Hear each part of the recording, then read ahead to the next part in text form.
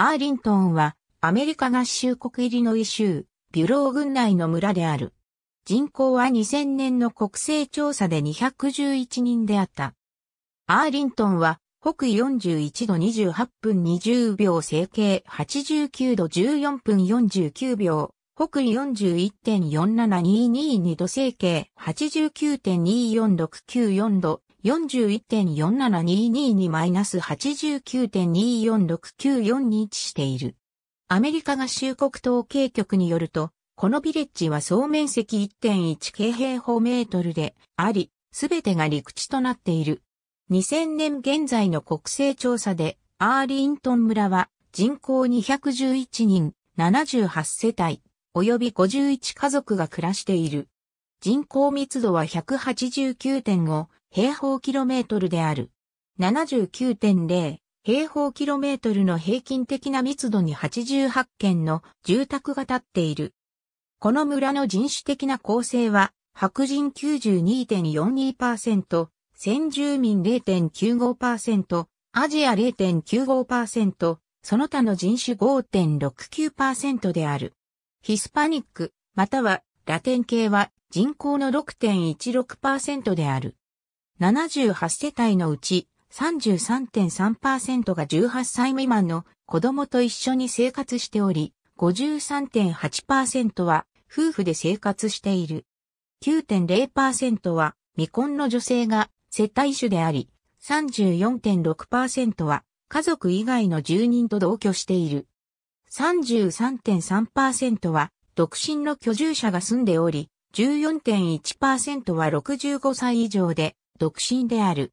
一世帯の平均人数は2.71人であり、結婚している家庭の場合は3.47人である。この村内の住民は32.7%が18歳未満の未成年、18歳以上24歳以下が5.2%、25歳以上44歳以下が27.0%、45歳以上64歳以下が20.9%、及び65歳以上が14.2%に渡っている。中央値年齢は34歳である。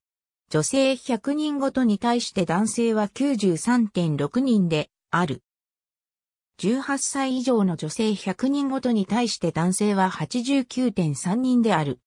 この村の世帯ごとの平均的な収入は27,292米ドルであり、家族ごとの平均的な収入は38,125米ドルである。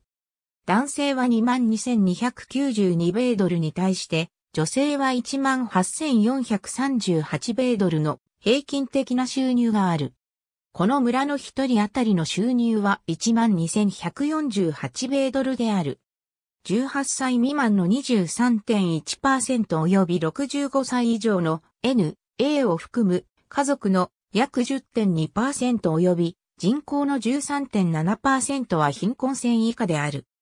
US ギャザティアファイルズ2010、2000 1990 United States Census Bureau http コロンスラッシュスラッシュ www.census.gov スラッシュ geo スラッシュ www スラッシュ gazetteer スラッシュガゼット .html2011 年4月23日閲覧American FactFinder United States Census Bureau。Http コロンスラッシュスラッシュ factfinder.census.gov2008 年1月31日閲覧。